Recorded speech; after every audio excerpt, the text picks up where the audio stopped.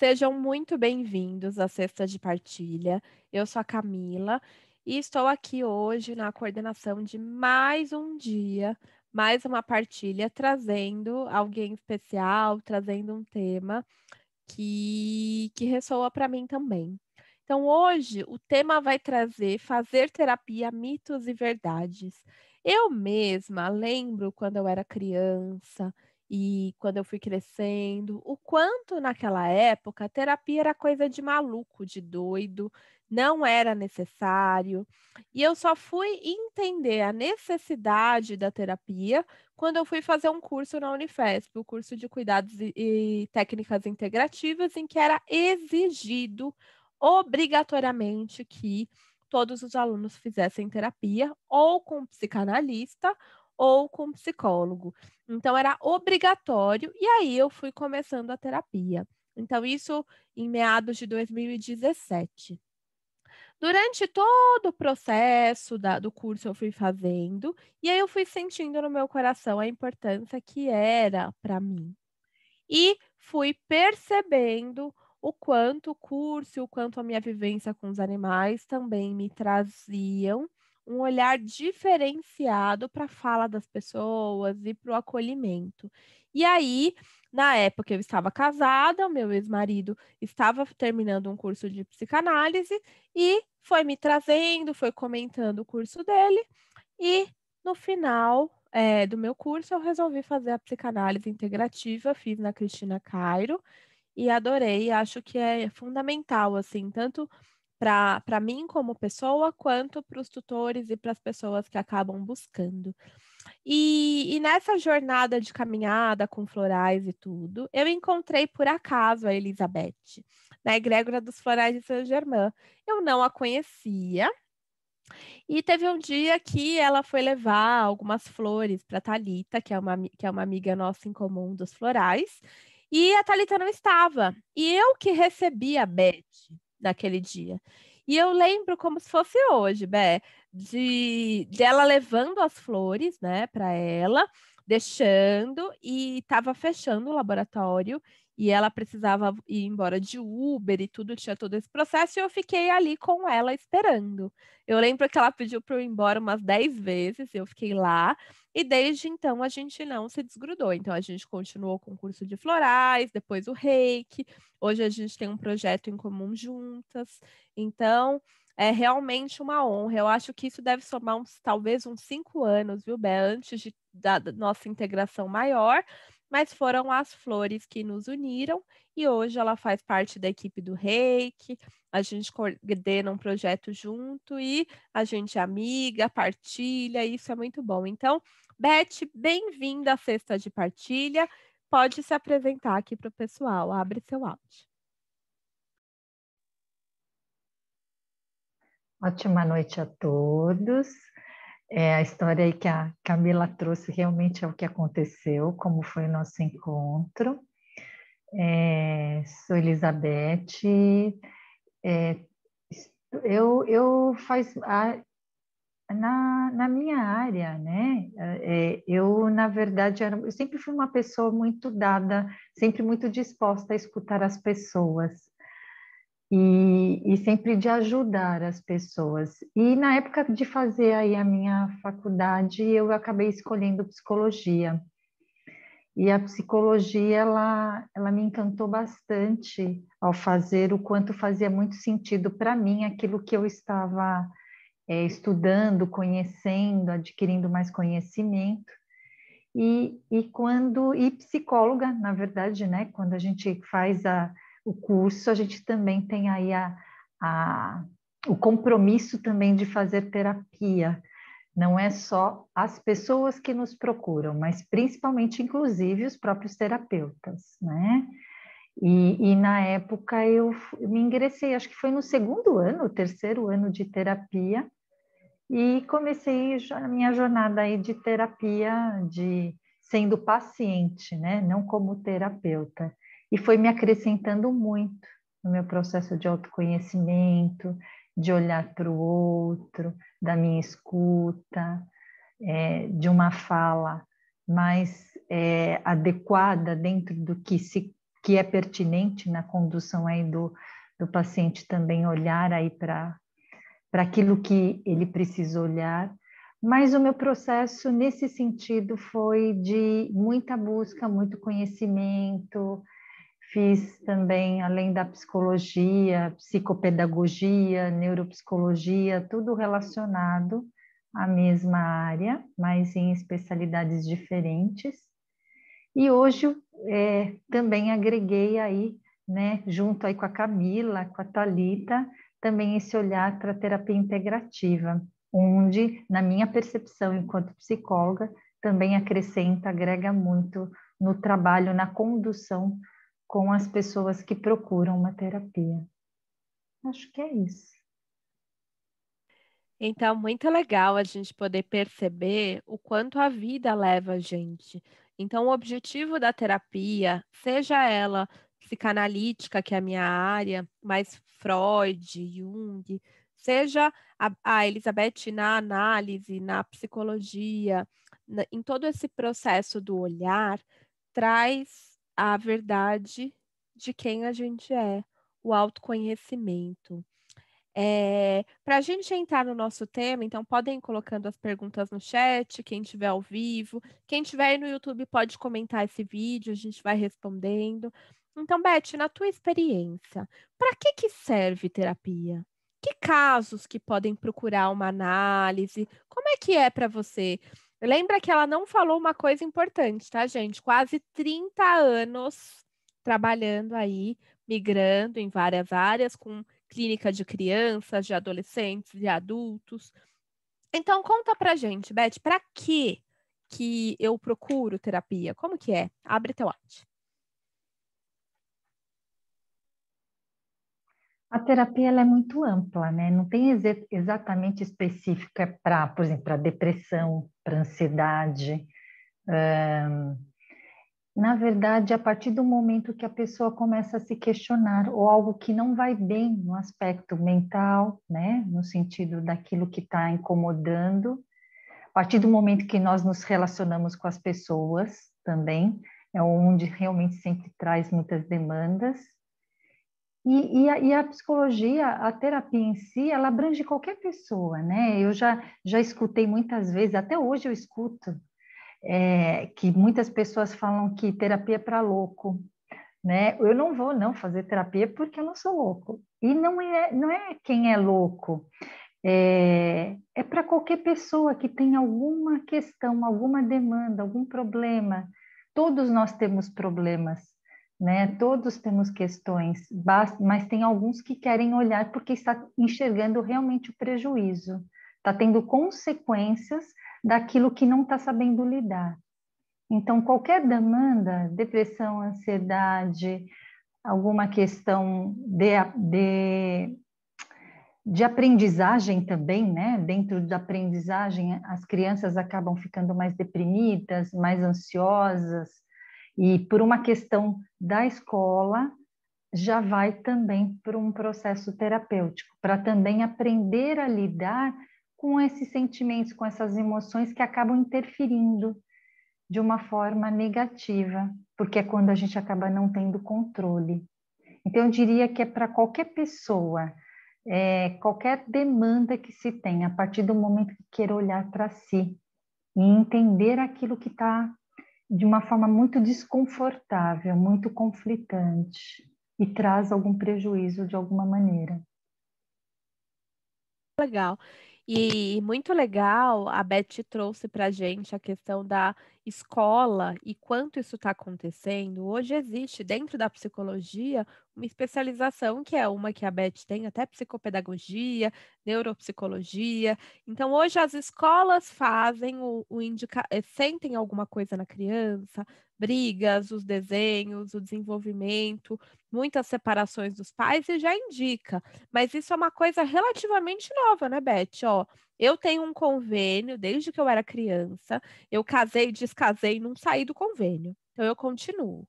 Então imagina que eu tenho 34, há 34 anos estou no convênio. O meu convênio não aceita psicologia. Porque na época não, é, não era necessário, era uma coisa só de uma classe média alta e as outras classes não precisavam daquilo o que, no meu ponto de vista, é extremamente errado. Então, ver que as crianças têm essa possibilidade hoje, e até eu ia te perguntar isso também, né, Bé? Isso eu vejo muito em escola particular, essa coisa do acompanhamento e tudo. Eu sei que no próprio SUS, a gente aqui de São Bernardo tem uma rede muito legal da psicologia, mas eu não sei se é igual à rede particular, essa coisa do olhar para a criança, do encaminhamento. Mas uma coisa que eu gostaria de falar que é mito é que terapia, e aqui a gente não está falando de terapia integrativa, tá, gente? A gente está falando da Beth como psicóloga, eu como psicanalista. A gente fala que a terapia não é uma coisa de quem tem dinheiro, de classe alta, é um direito e uma vontade de qualquer um.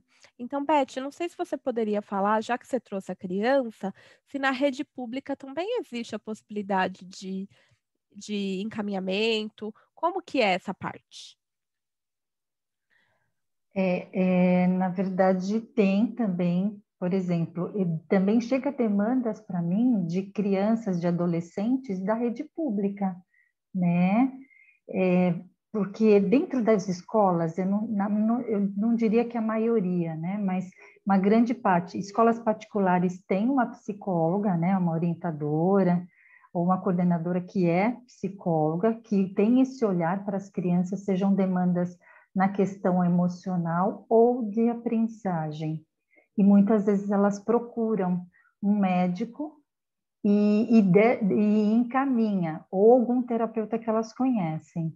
No particular, isso é mais fácil, né? Porque a, as, os colégios particulares têm realmente é, mais psicólogas tem psicóloga escolar, não necessariamente a psicóloga atende lá, mas ela tem uma escuta, tem um olhar para as crianças e qualquer demanda que surge, elas acabam é, agendando né, reuniões com os, com os pais e muitas vezes até se precisar eles encaminham para um profissional fora né, da escola, porque aí na escola é mais um acompanhamento dentro do social, da interação lá da escola.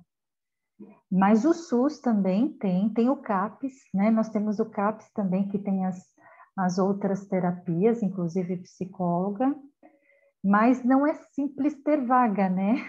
Porque preenche muito rápido.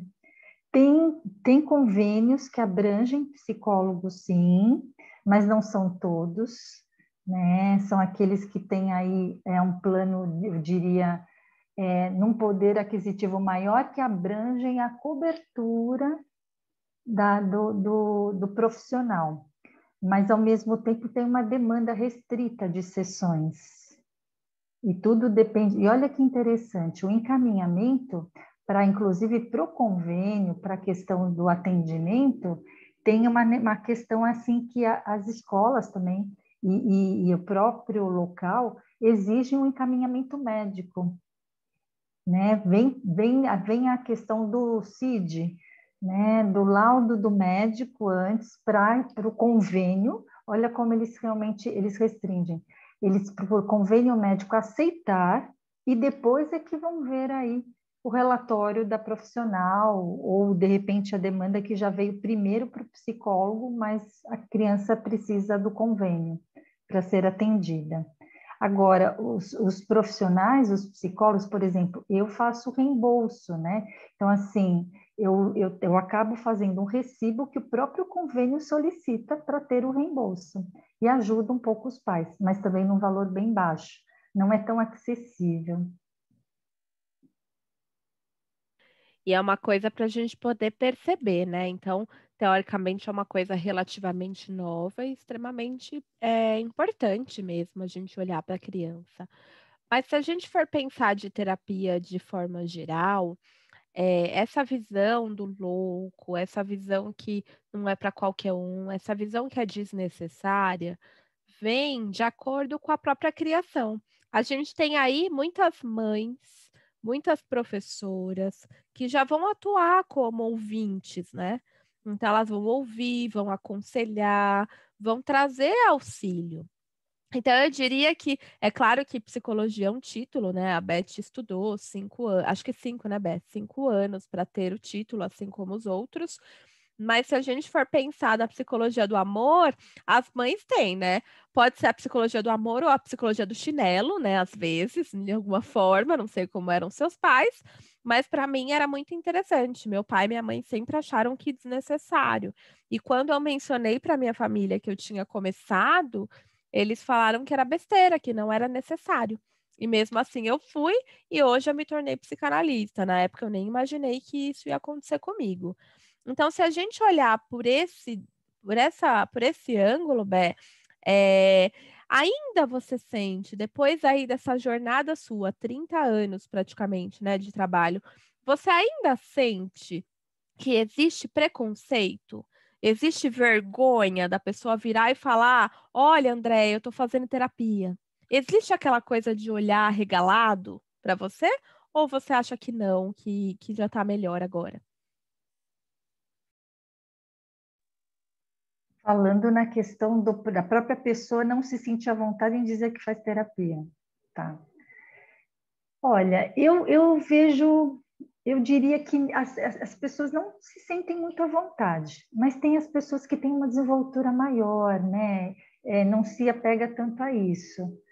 Então, eu, eu, vejo que algumas pessoas, elas não divulgam. Eu diria talvez que seja a maioria, não tenho ainda a, a noção, porque eu tenho uma demanda que vem, os adolescentes e mesmo crianças, já vieram várias demandas de que pediram para a mãe que queria fazer terapia né?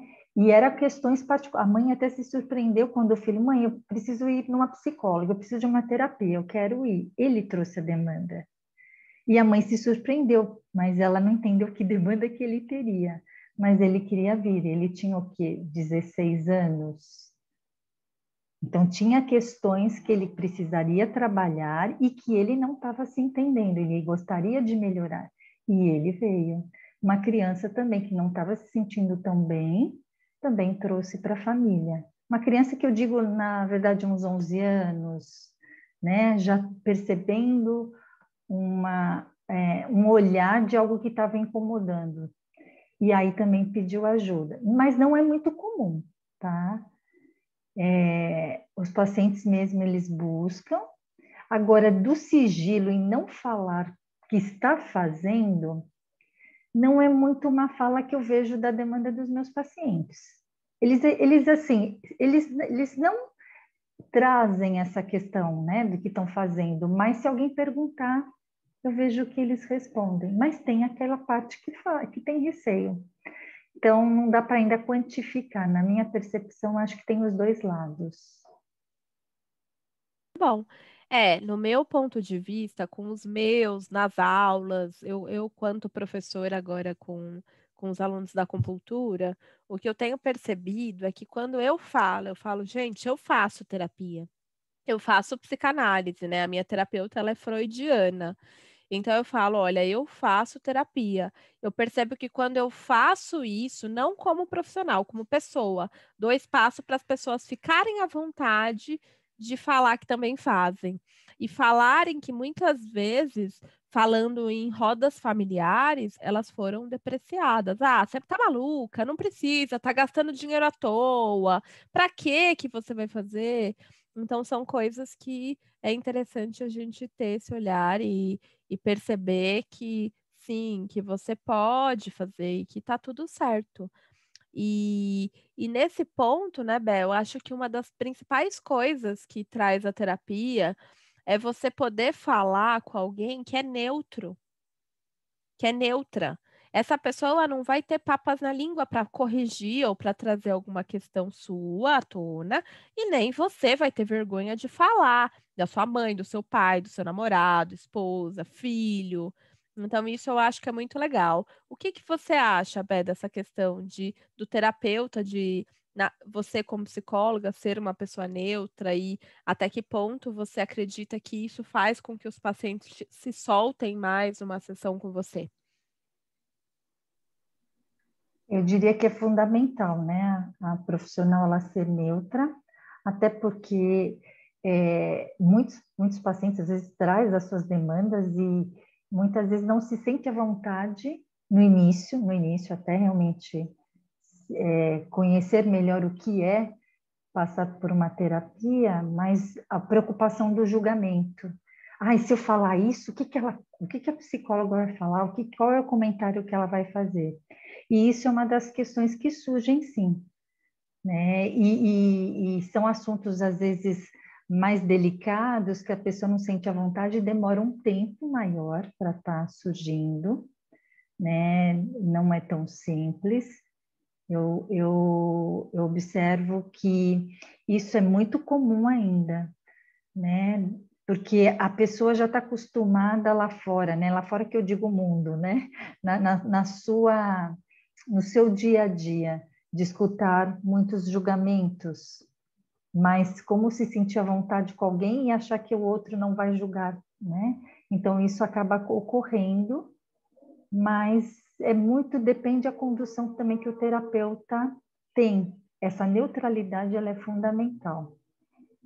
Já eu já escutei bastante assim nesse sentido de alguns pacientes relatarem, né, o quanto é muito bom conversar com alguém que escuta, que acolhe, não julga, mas tem um direcionamento dentro do que é necessário para trazer aí um, um atendimento mais acolhedor, porém eficiente, né, pontual, que, que possa trazer reflexões e insights para o próprio paciente.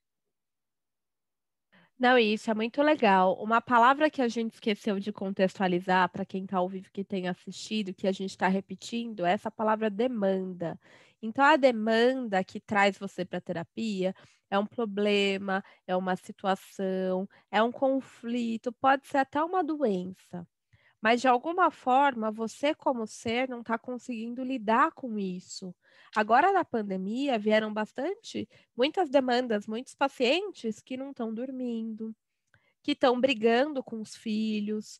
É, já teve paciente para mim que queria pendurar o filho de ponta cabeça porque é, eu não sei, eu não sou mãe, não posso falar para vocês quanto mãe, mas você imagina aquela criança de 3, 4 anos dentro de casa, 24 horas, com a mãe e com o pai tendo que trabalhar online, como é que é isso? E como é que é você falar isso para alguém, sem que a pessoa julgue, mas que te ajude a trazer, a ver o que eu vou fazer, o que eu não vou fazer.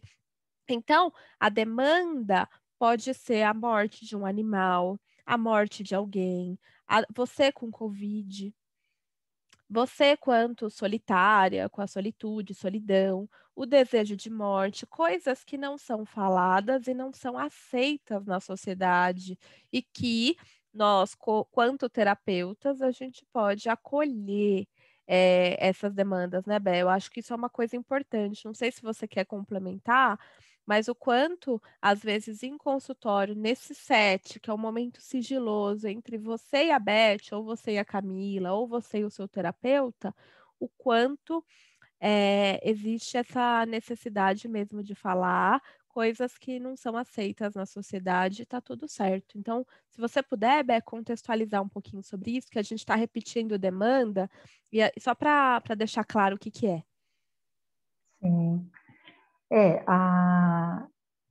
eu ia falar demanda, mas é, esta questão né, do, que, do que o paciente está procurando e o que ele está querendo trazer é, é muito no sentido de ele se sentir à vontade, mas é aquilo que está incomodando, aquilo que ele está percebendo um prejuízo, aquilo que ele está sentindo como uma dor, uma angústia, e ele vai trazer os sintomas. Muitas vezes ele não vai falar tão claramente, mas ele vai falar: olha, dói aqui, é um aperto, né? uma angústia.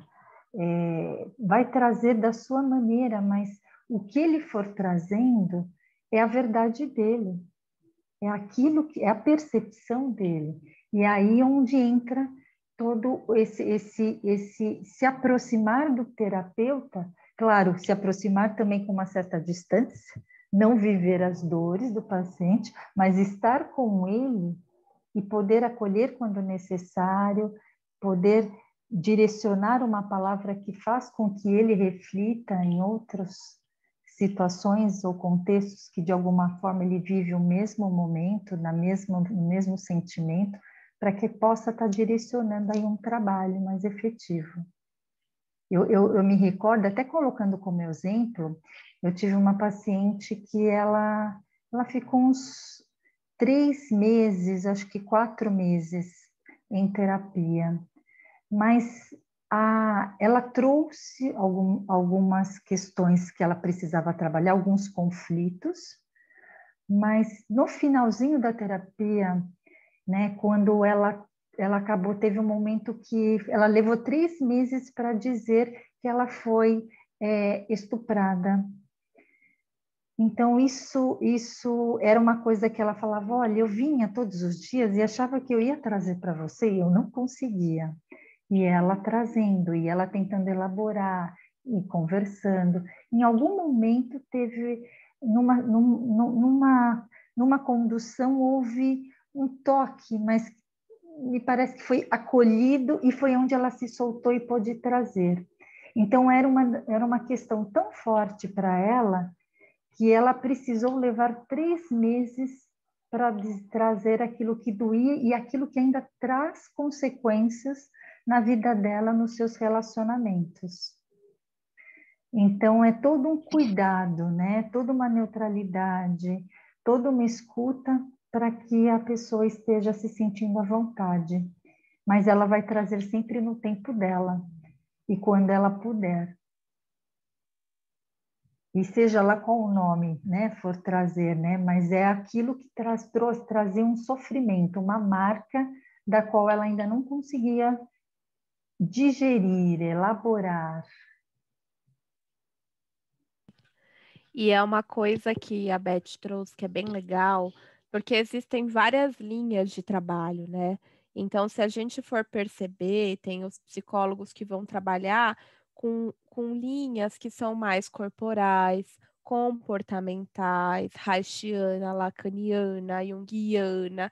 Então, tem muitas linhas dentro da psicologia e até dentro da psicanálise, que não é estritamente freudiana, mas independente disso, precisa ser criado um laço de empatia. É o que a Beth falou. Então, você chegou lá no seu terapeuta, psicólogo, psicanalista, você precisa gostar dele. O psicólogo, o psicanalista não precisa gostar de você. Olha que louco, né? Mas você precisa, porque aí, a partir desse momento, você vai se sentir acolhido, acolhida, para poder trazer uma questão, que, que nem ela falou, de um abuso sexual, uma questão muito íntima. E a partir desse momento, você vai começar a trabalhar esse conflito e vai trabalhar é, essa questão de que é e não é aceita tanto por você quanto pela sociedade. Então você não consegue expressar e falar para os outros isso. Você consegue falar em consultório enquanto você se sente seguro, segura e fazer essa entrega. Então é muito legal e é, é muito pessoal. Então você acaba escolhendo o seu terapeuta, sua terapeuta, de acordo com a verdade dele, com a linha dele.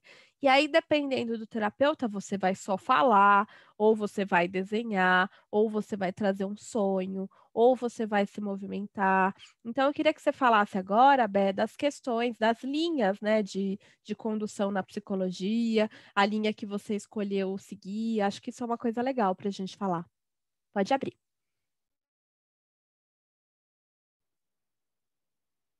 É, a psicologia ela tem várias, é, realmente vários, várias linhas, né?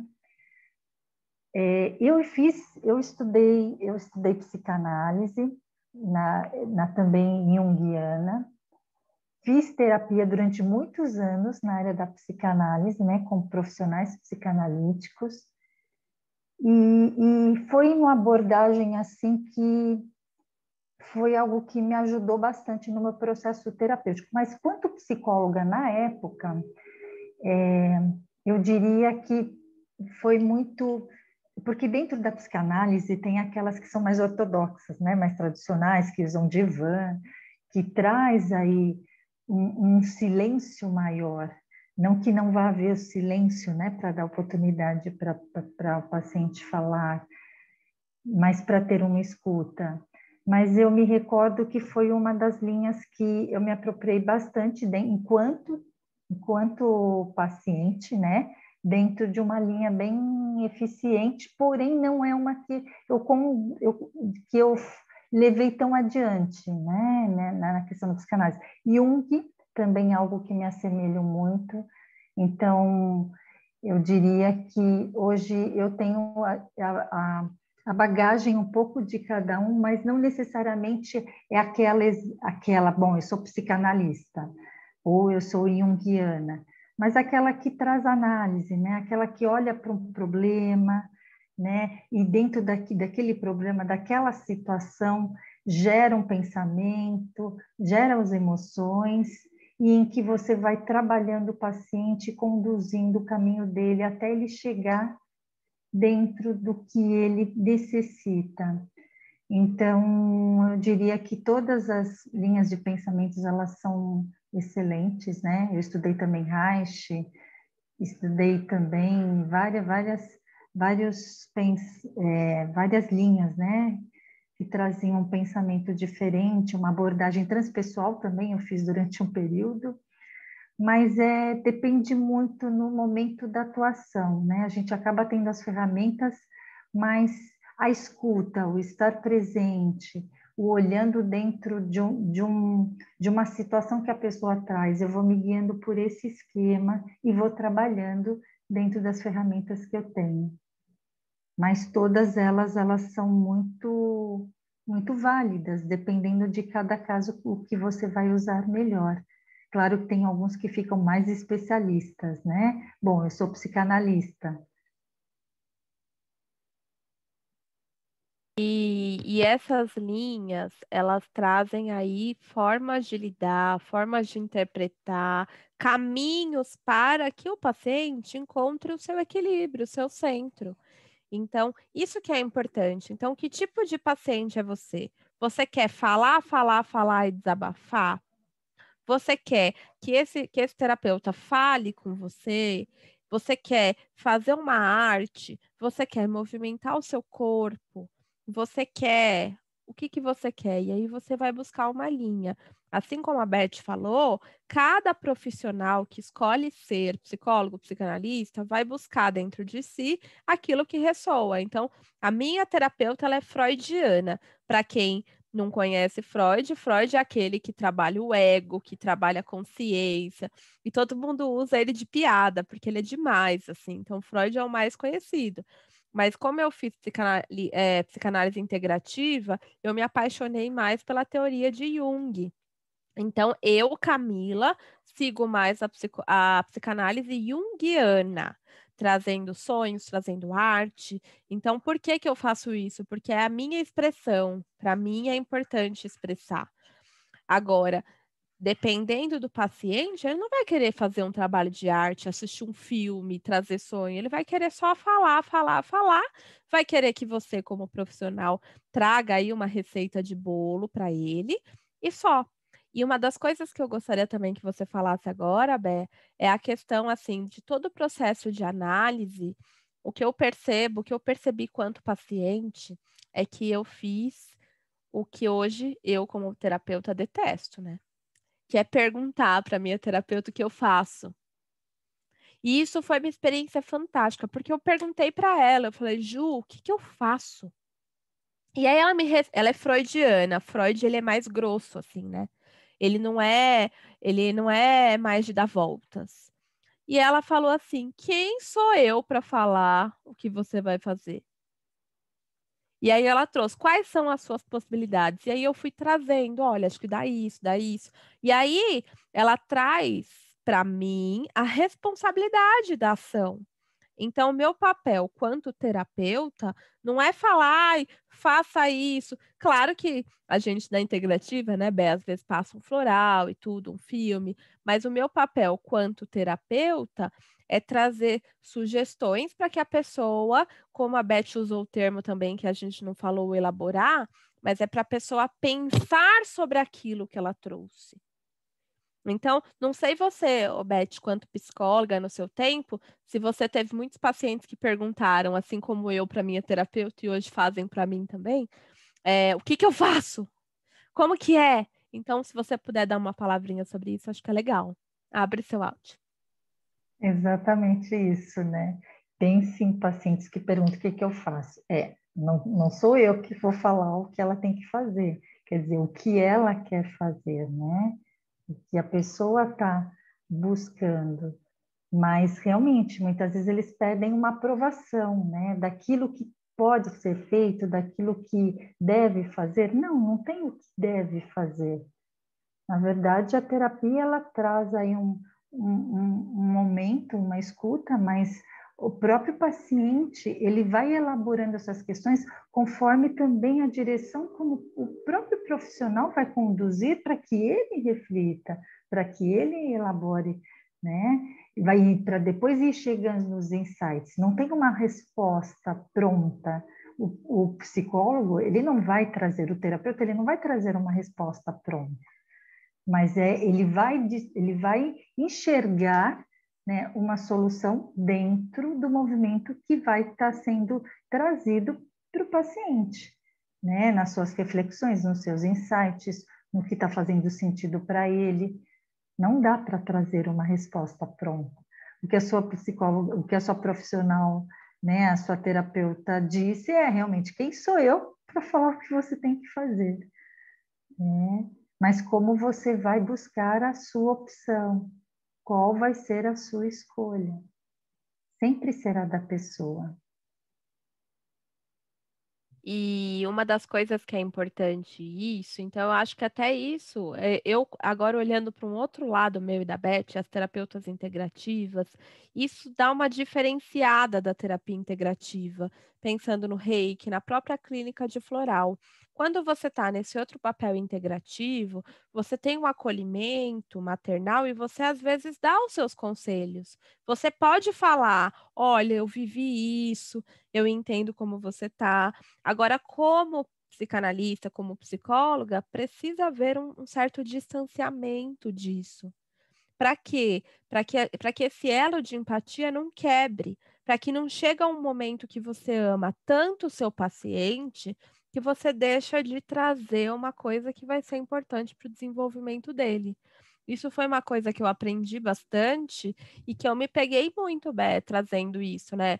Quanto terapeuta floral, quanto médica veterinária, trazendo isso. E quando eu fui estudar, tanto na Unifesp quanto na CRIS, e foi trazido essa responsabilidade da nossa fala, eu percebi porque até só para contar para vocês um caso, eu tive uma aluna que depois se tornou uma amigona, que é psicóloga, e ela me contou uma história. Prestem atenção, gente, que é bem legal, assim, depois Bessa comenta. Ela falou assim, ela falou que ela atendeu uma esposa, e a esposa falou para ela, em consultório, que o marido estava espancando ela. E aí a psicóloga acolheu, ela chorou muito, ela saiu. Depois de três dias, o marido foi lá bater na porta dela. E ele virou para ela e falou: Você falou para minha mulher me deixar. E aí ela falou: Não. A sorte dela naquele momento lá, porque ele foi é, com muita agressividade, é que ela tinha as coisas anotadas e ela conseguiu trazer, não foi caso de polícia, não, né? No fim, ela acabou direcionando esse marido para uma outra pessoa, e aí ela descobriu também que esse bater aí era uma coisa que não era tão real quanto que a paciente disse. Só que aí que tá. Quanto terapeutas, o que o paciente te trouxe é a sua verdade, a verdade universal. Então, precisa mesmo tomar cuidado com a fala, com o que você fala, e o próprio quanto paciente também com o que você fala para o outro e tudo. Às vezes a gente tem vergonha de assumir que a gente quer sair. No caso dessa paciente, ela responsabilizou a terapeuta. Ela falou, se fosse a Beth, a Beth falou que eu tinha que ir embora, então eu fui. E aí esse marido, com toda a raiva no processo, foi lá. Graças a Deus, ela contando pra gente, graças a Deus ele não me bateu nada, eu consegui, e eu tinha anotação para eu provar, né, que eu não disse o que, que tinha sido dito, não que ela abriu o que a paciente falou, mas ela tinha no campo da ficha dela as sugestões que ela tinha feito, e estava escrito lá, terapia de casal, estava escrito lá buscar auxílio do apoio familiar, e quando o marido leu as sugestões que ela falou, ele caiu em si, o choro copioso e aí foi encaminhado para outro terapeuta, porque não dá para atender a esposa e o marido, o mesmo terapeuta, se não é uma terapia de casal. Então foi um caso que aconteceu que ela contou, Beth, que eu achei bem legal para a gente trazer quanto terapeuta, o que, que pode acontecer, né? O quanto a nossa palavra é real. Então, o que, que você pode falar sobre isso? É, isso é muito pertinente, porque na verdade isso acaba acontecendo mesmo, né? É, a pessoa ela traz a percepção dela, como você falou, né? A paciente, ela trouxe a percepção dela e para ela, naquele momento, ela disse que tinha que ia, ia apanhar, não é isso? Que tinha, tinha essas questões. E, na verdade, não é tão real. Às vezes, a pessoa, no ânimo, no, no momento, nos calores, na, nas sensações que ela está tendo, ela vai trazer na intensidade dela, da maneira dela. Então, manter essa distância, o profissional, é importante, porque não dá para trazer que tudo aquilo que ela está ela tá dizendo é uma realidade, mas é uma percepção. E a gente vai acreditar na percepção.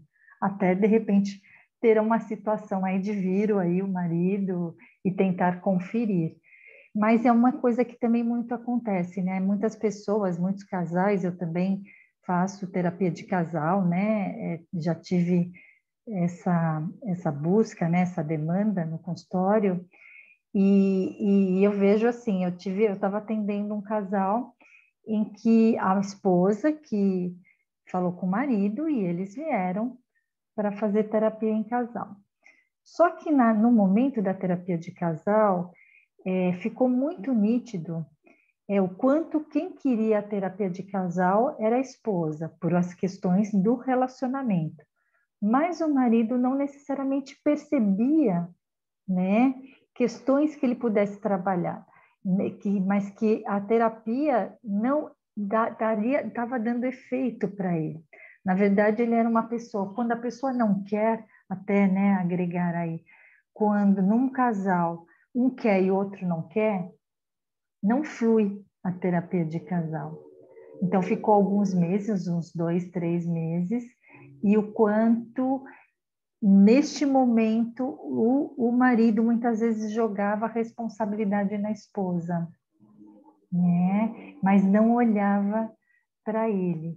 E ficou nessa, nessa, nessa situação né, do casal não fluir tanto a terapia em casal. Chegou um momento que eu tive que propor né, a possibilidade de, repente, cada um ser atendido individualmente. A outra né? De repente, é, o marido passar com outro terapeuta. Mas na terapia de casal não estava fluindo a demanda que haveria, que tinha, né? Porque uma das partes não enxergava a sua responsabilidade no contexto do relacionamento.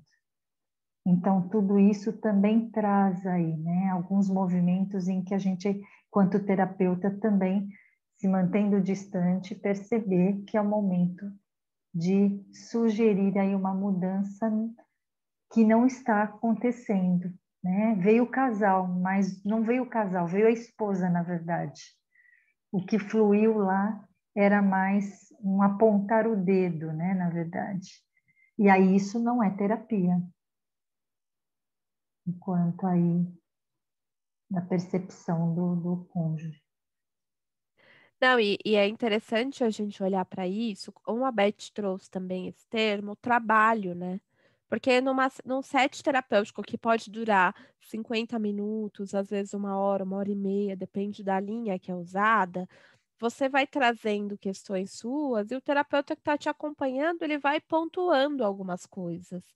E você vai para casa com uma lição de casa, que é pensar sobre isso, elaborar e pensar sobre a resolução do seu problema, da sua demanda, dá um trabalho.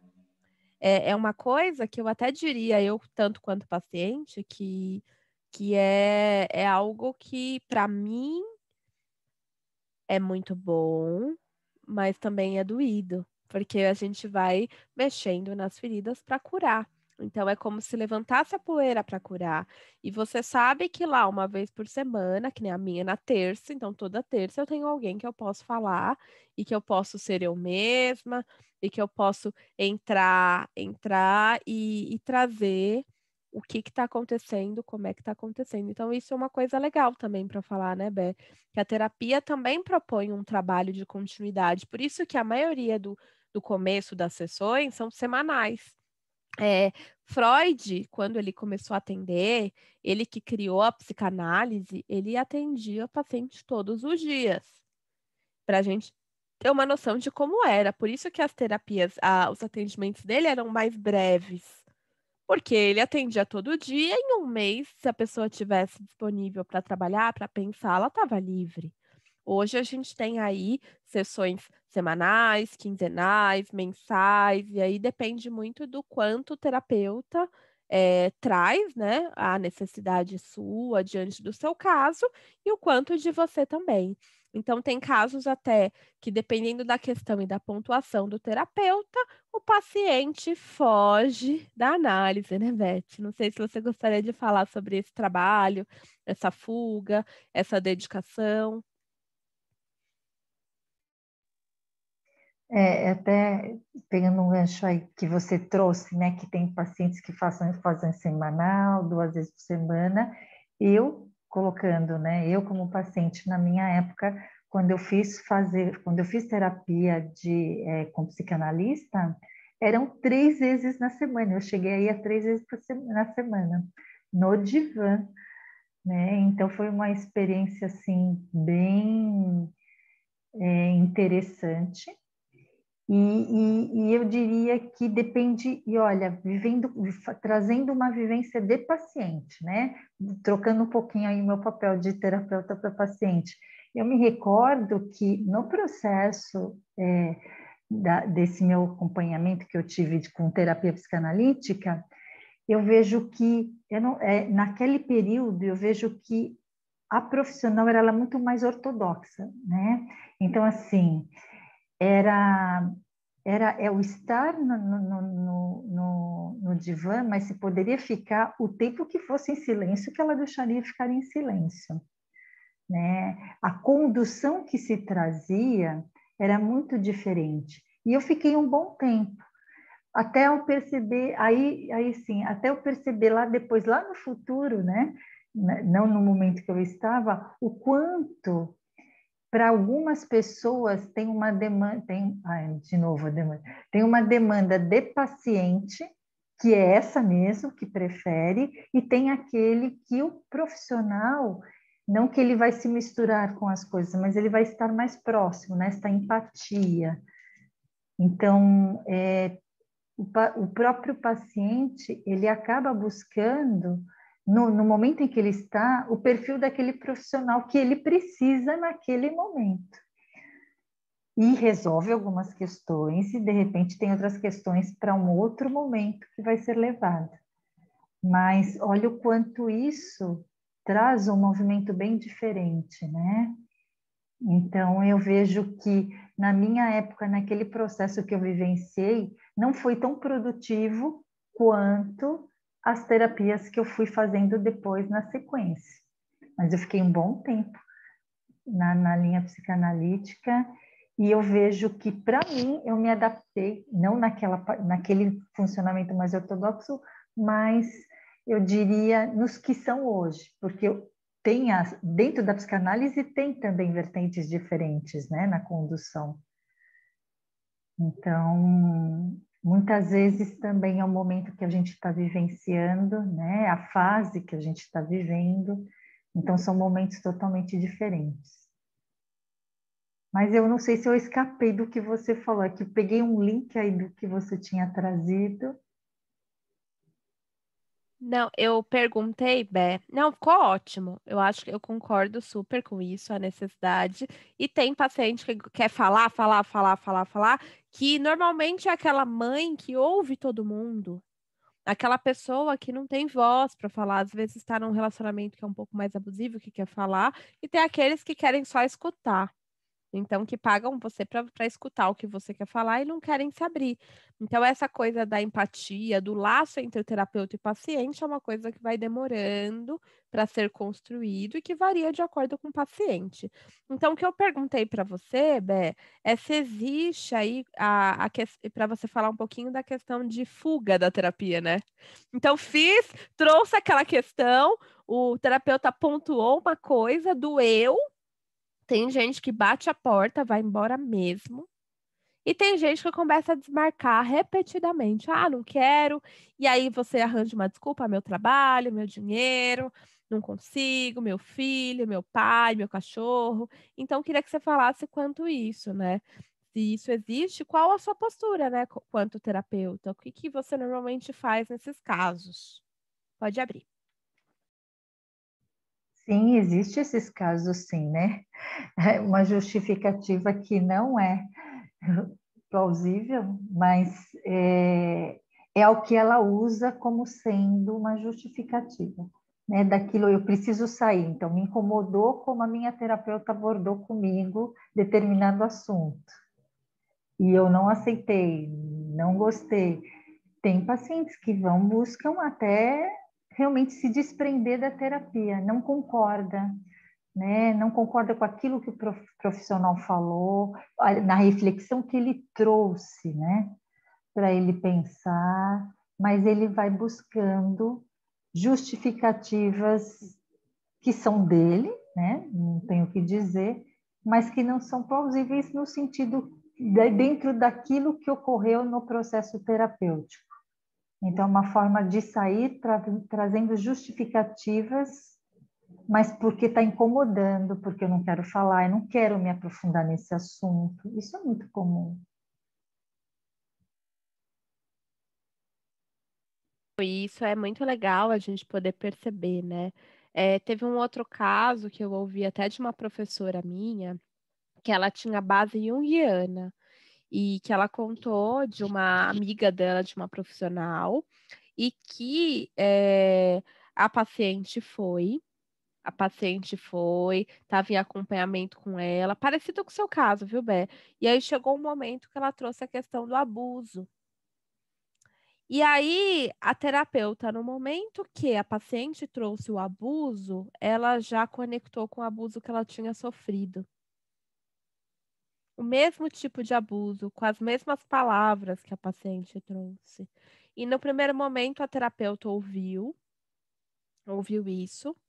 Num segundo momento, ela conversou com seus colegas e supervisores, porque a gente, para atuar, a gente precisa ter um orientador para discutir os casos, para trocar. E na sessão seguinte, ela virou para a paciente e falou: Olha, eu a sua questão ressoou muito no meu campo, mexeu muito comigo. Eu conversei com a colega fulana e eu vou te encaminhar para ela porque eu não posso te ajudar no seu problema. E quando ela me contou isso, ela contou em aula essa professora, eu achei fantástico essa questão, né? Porque quanto psicanalista e psicólogo, eu acho, Beth, aí você pode trazer sua opinião daqui a pouco, que se a gente emociona em relação à questão do outro, se aquilo se identifica com a gente e está resolvido, a gente sabe como orientar, o que falar. Mas se aquilo trouxe uma emoção de choro e aquilo palpitou o teu coração, sabe? Trouxe isso. O correto, o ético é você encaminhar para um profissional, não é vergonha nenhuma. E eu já vi, além desse caso, vários profissionais que fizeram isso, que fazem isso. Da mesma forma, hoje eu atendo uma filha, o filho e a mãe, a filha como analista, né, e como arte terapeuta, o filho e a mãe como arte terapeuta apenas. E eu encaminhei a mãe e o filho pequenininho para um outro terapeuta, porque eles precisam separar, então não dá para eu fazer esse trabalho. confesso para vocês que, que é, é, essa família eu gosto muito e a família é, falou: ah, não, mas eu quero, insistiu. Eu falei: não, não posso. Não posso, vai entrar em contrapartida com a terapia que eu já estou fazendo com a sua filha, e aí a gente vai trabalhando. Então, não é vergonha nenhuma o terapeuta te encaminhar e fiquem super tranquilos também se vocês já ouviram isso, porque é uma fala comum e que, na minha percepção, demonstra muita ética do profissional, né, Bé? Não sei se você poderia falar um pouquinho sobre isso. Sim, eu concordo com isso. Isso, isso realmente é ético. Não dá. Se ressoou e está mexendo em você, tem que encaminhar e ser transparente, realmente explicar e, e, e, fazer o encaminhamento. Não tem como continuar, porque isso em algum momento vai, vai a situação vai se agravando. Então, antes que isso ocorra, realmente tem que partir mesmo do, do profissional. E ser ético, transparente, isso pode acontecer com qualquer profissional, qualquer um da área. Mas ficar atentos tem que priorizar aquilo que, nos, que dentro da nossa área, né, enquanto terapeuta de uma forma geral, é ser responsável, né, comprometido dentro do que realmente manda a ética. Não, e, eu, e o que é interessante nisso é você ser responsável com você também. Então, é, eu bato muito na tecla é, dos, dos, meus alunos da terapia floral ou do pessoal que de alguma forma está vindo nesse viés da acupuntura. Eu falo, você precisa se permitir vivenciar a técnica. Então, eu sou psicanalista, eu preciso ter uma, uma psicanalista que me atenda para poder trazer as minhas questões que são levantadas durante a terapia com um paciente. Porque existe sim uma fundamentação que os pacientes que chegam até você vão trazer questões que você já viveu, vão trazer histórias que você já ouviu, e aí você vai poder é, entender, se pôr no lugar do outro, né? É, imaginar na tua cabeça o que, que ele está trazendo, a fantasia, a história, e trazer a melhor tipo de intervenção para o paciente. Então, é algo bem é, interessante para falar. É, em relação a isso, Bé, mais uma pergunta que, que me fizeram quando eu trouxe a live e que depois é legal para a gente colocar também nessa gravação, é em relação ao, ao psicólogo, se o psicólogo pode prescrever medicação. É, a, a psicanálise não pode, tá? Então, a gente não pode é, indicar nenhum tipo de psicotrópico e nem falar para você, né? Às vezes a pessoa tem lá o Rivotril, o remédio, e fala: Ah, eu tenho aqui, posso tomar? Não, eu não sou médica, não posso. A gente na integrativa traz o floral, outras coisas, mas quanto psicanalista, eu não posso recomendar medicações nenhuma. Para os animais, eu sou médica veterinária, poderia sim recomendar psicotrópico, ansiolítico, que podem ser usados em animais, mas eu particularmente escolho não seguir por esse caminho.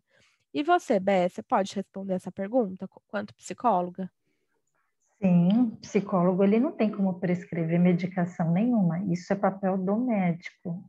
Não, não, isso não acontece. Bom, eu estou falando por mim, né? Mas é, é, isso não existe. Isso, de fato, o psicólogo ele trabalha as questões comportamentais, de relacionamentos, é, de emoções, sentimentos, mas trazer aí um, um, um remédio, o remédio passar, prescrever, não. Isso não é. Quem faz, quem prescreve é o psiquiatra, o neurologista, né? Que tem o acompanhamento, mas aí é parte da área médica, não da, da psicologia e da psiquiatria. É, o que eu posso falar quanto médica veterinária, tá, gente? Que estudei a fisiologia dos animais e um pouquinho da fisiologia dos humanos. É que os remédios, eles eliminam rapidamente o efeito, o sinal que você está tendo. Claro que tem um tempo para você se adaptar com o remédio, mas ele vai, no momento que você se adaptou, ele vai cessar aquele sinal, aquele sintoma que te incomoda. Mas ele não vai averiguar a causa qual foi a demanda, o que, aconteceu na sua vida que causou aquilo. Então, na minha percepção, Bé, é fundamental o psiquiatra, o neuro, indicar uma terapia para que o paciente possa lidar com aquilo e para que o remédio seja ajustado e, às vezes, até depois de um tempo no acompanhamento, até em alguns casos, possa até ser retirado, né? Nesse trabalho conjunto. Eu não sei você, né, na, na, tua, na tua percepção e tudo mais, quanto psicóloga, se você tem contato com os, neuro, com os neuros, com o psiquiatra, se você atende aos seus pacientes e entra, né, é, em contato com eles, mas é uma coisa muito legal. No meu processo, eu acho que eu tenho três, quatro pacientes que tomam psicotrópico. Eu, Camila, tentei entrar em contato com eles e eu não obtive resposta. É claro que a gente precisa pensar que é médico de convênio, que tem uma demanda de muitos pacientes, que às vezes se perde mesmo. Assim como eu sou humana, eu também posso perder uma mensagem, já aconteceu, né? A gente não consegue tudo. Mas é uma coisa que, na minha percepção, é fundamental integrar tudo para a melhora daquele paciente. No seu ponto de vista, Beth, já aconteceu de você conversar? Como é que é? Sim, inclusive muito. É, trabalhando com equipe, né, é, multidisciplinar, tanto da clínica que eu trabalhava, né, quanto sócia, e, e na, na, área que eu estava atuando, então tinha muito é, próximo psiquiatra, é, o neurologista. Então, quando chegava paciente para eles, eles acabavam encaminhando para psicóloga, e aí nós conversávamos, nós marcávamos reuniões, conversávamos sobre o, o caso. Então, as informações eram passadas e traziam um acompanhamento muito mais efetivo de ambas as áreas, estando unidas. O, o psiquiatra também, né? É, ele também era muito próximo no sentido aí de trocar informações, porque quando porque tinha casos que eu tinha, eu até acompanhava como psicóloga, mas a criança ela estava com acompanhamento neuro, neuro, com um neurologista.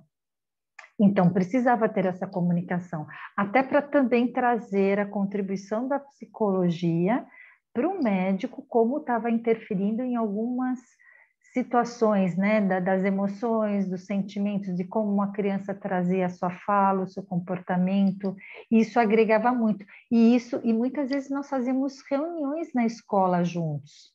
Então, eu, neurologista, eu, enquanto psicóloga, nós tínhamos também um profissional com fono. Então, sempre houve aí esse, essa união entre os profissionais. Na área particular, né? Agora, na questão pública, o CAPES tem também, né? Eu acho que tem todo esse trabalho. É, então, eu também já trabalhei no CAPES, então existe um, uma interdisciplinariedade, né? Os profissionais trabalhando juntos. Então, existe. E eu acho importante. Não dá para negar é, a, a, informação que o neurologista pode pra, passar para a psicóloga e vice-versa contribui muito né? na condução do médico, inclusive com as medicações, é, a psicóloga com relação a direcionar, encaminhar aí é, o paciente numa linha que possa ser mais efetiva dentro do que o, o neurologista também está passando. Essa união é importante. Muito legal, Bé. É, eu vou pôr a última pergunta, que a gente está quase finalizando aqui a nossa partilha hoje. É uma pergunta que também me fizeram antes, é, as pessoas me trouxeram, que é é, existe uma diferença, Beth, porque ó, a psicanálise não, o convênio não aceita, tá, gente? Então a gente é profissional liberal, a, o curso de psicanálise vai quase três anos, né? Então a gente tem um outro tipo de formação. O psicólogo tem cinco anos, tem outro tipo de graduação, né? A psicanálise ela entra como um tecnólogo, tem pós também em psicanálise, mas de forma geral, pelo menos a que eu fiz entrou como tecnólogo. A, a Beth entra já como graduação. Mas uma pergunta que me trouxeram, Beth, é se existe diferença do psicólogo que atende convênio e do psicólogo que atende é, particular, a nível de tempo, a nível de, de desenvolvimento. Como você já caminhou das duas formas, então se você puder falar sobre isso, eu acho que é legal. Eu já trabalhei também na, há muito tempo atrás, né? É, pelo convênio, o tempo de, de atendimento é menor, né? Hoje em dia tem o atendimento é meia hora e o atendimento de uma consulta particular é uma hora. É, não desmerecendo o profissional que, que atende, né? Aí já é uma condição aí do próprio convênio, da clínica, do convênio, mas é, o profissional ele pode ser um excelente profissional, mas ele, ele, acaba às vezes em algum momento da sua da sua vida profissional ele acaba começando talvez, né, com um convênio e depois vai trabalhando de uma maneira mais particular. Mas interfere o tempo de, de, de terapia? Sim. Eu, inclusive, tenho uma, uma ex-paciente minha que ela, eu atendi ela mais novinha, criança, e depois ela, ela queria dar um tempo na terapia, ela parou, e aí a mãe depois foi procurar uma terapia para ela e foi pelo convênio. E o convênio ele atua, ele atende meia hora, 30 minutos. E uma das questões é que eu vejo é que quem faz pelo convênio traz aquela sensação de que meia hora ficou pouco. Eu estou trazendo a fala de paciente, né? O quanto 30 minutos não, não é o suficiente né, para levar aí, conduzir aí, de repente, o que a paciente está querendo trazer ou como a profissional vai conduzir. Eu já vou falar mais pela própria paciente, né, porque eu isso eu escuto. É, já houve a fala de paciente que estava fazendo pelo convênio. Fica numa sensação de eu não concluí aquilo que eu podia ter concluído, não deu tempo então eu vejo que aí eu não sei o quanto que é uma, um movimento do próprio convênio, né? De uma a questão de controlar o tempo, mas haveria necessidade de ser pelo menos 50 minutos. E quanto profissional, eu tenho uma paciente que é psicóloga, e o que ela me trouxe, Bé, é que é uma exigência do convênio que seja feito esse momento e que para ela é quase que desumano. Porque muitas vezes não tem tempo de comer, de beber e fica assim. Então, tem profissionais que lidam super bem com essa coisa da massa, né? Da quantidade. Tem profissionais que não dá. Tanto que ela saiu, porque ela falou: não, eu não consigo.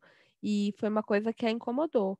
Então, se você está assistindo essa nossa live, se você é, é psicólogo, enfim, é legal pensar sobre isso põe aí teu comentário, depois a gente acha bem legal de partilhar. Então, queria agradecer, Bé, pela, pela, pelo seu aceite, pedir para que você traga suas considerações finais, suas palavras aqui, o que, que você quer deixar, e lembrando que os contatos da Beth vão estar tá na, na descrição do vídeo, então, se você precisar, ela vai estar tá à disposição, tanto presencial em São Bernardo, quanto é, online, né, Bé? Então conta para eles e traz as suas percepções finais.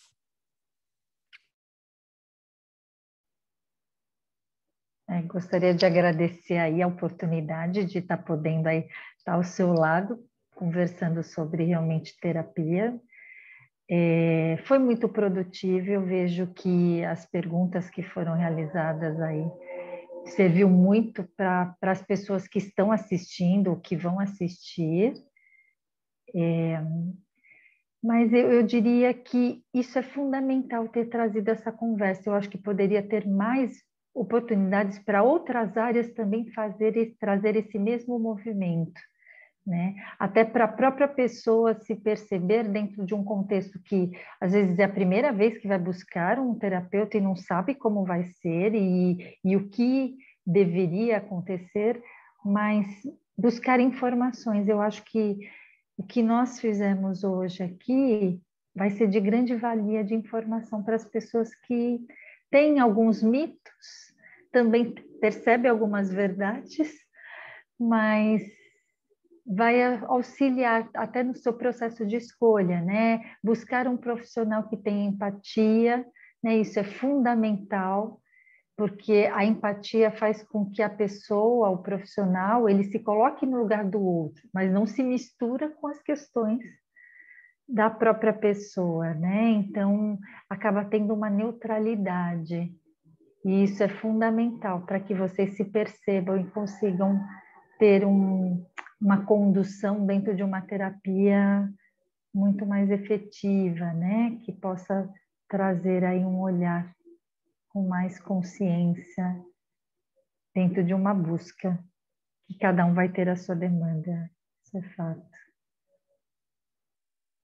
Então, queria agradecer, Bel. O que eu gostaria de deixar aqui para vocês é que terapia não é nada de louco.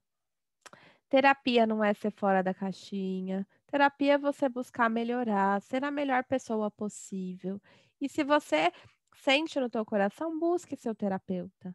E, e, como psicanalista e integrativa, a, sempre a indicação que eu dou e sempre que eu faço para mim também é que se você busca ser terapeuta floral, que você busca um terapeuta floral para te atender. Se você é psicólogo, um psicólogo, se você é arte terapeuta, busca um arte terapeuta para te atender, vive o processo para que você consiga trazer o melhor para o paciente, para aquele que te busca. Então, queria agradecer a todos que estão ao vivo, a gente vai continuar conversando. Agradecer a Beth de novo por ter aceito estar ao meu lado. Convidar vocês, semana que vem temos a Maria Celina, Contos e Encontros, trazendo um conto fantástico aqui para vocês. Convidar vocês para as lives de sábado que eu faço, Mulheres e Homens Luz, trazendo uma live mais descontraída via Instagram. Convidar também para o nosso ambulatório de reiki, todas as terças-feiras, trazendo um tema e trazendo um envio de reiki. A gente está aí com trabalho com os órgãos do sentido agora. E às sextas pela manhã que eu faço as histórias dos nossos irmãos animais.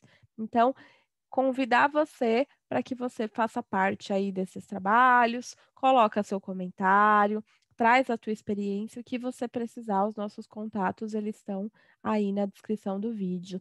Agradecer aqui ao vivo as minhas fiéis escudeiras, Maria Celine e Andréa Marangoni, que estão aqui no bastidor, estão aqui sempre firme e forte. Então, é, em breve teremos uma nova palestra da Andréa Marangoni, trazendo a constelação familiar como tema, abertura dos nossos grupos. E Maria Celina, quem quiser conhecer essa flor, no nosso canal do YouTube já temos três partilhas dela de história, e semana que vem ela está aqui bonitinha, trazendo uma história, um conto brasileiro, interpretado com todo o jeito da Celina de ser. Então, uma excelente noite, tarde, dia e até a próxima partilha, se Deus quiser. Tchau, gente!